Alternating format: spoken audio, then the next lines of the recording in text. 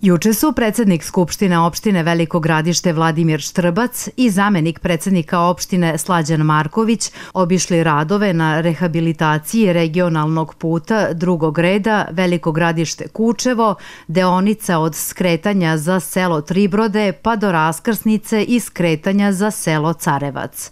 Radove u dužini od oko 2 km izvodi preduzeće za puteve Požarevac, a finansijer je javno preduzeće Putevi Srbije. Verbeem.